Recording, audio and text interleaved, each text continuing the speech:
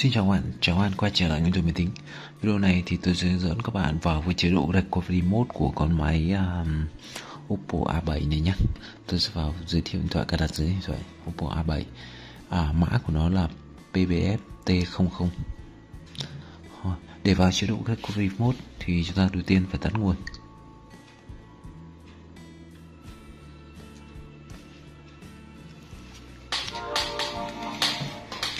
Tái thực hiện hai tổ phím là phím giảm âm lượng volume down, dí giảm âm lượng và phím nguồn, giữ giảm âm lượng trước sau giữ nguồn. Bao giờ lên logo, ta thả nguồn, thả phím nguồn, vẫn giữ giảm âm lượng.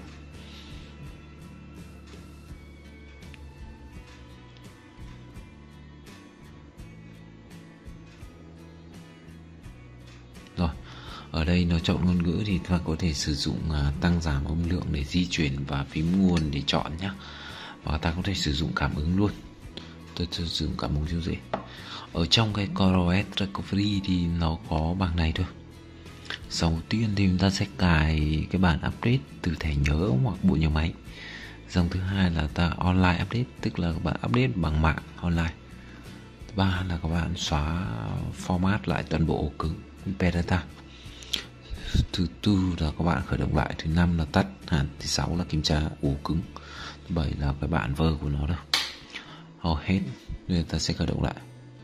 Ok ta có thể sử dụng cảm ứng nhé. Vừa rồi là mình vừa dẫn các bạn à, cách vào chế độ recovery mode của con máy oppo a 7 chúc các bạn thành công. Các bạn nhớ like chia sẻ video và đăng ký kênh của mình nhé. Chào các bạn.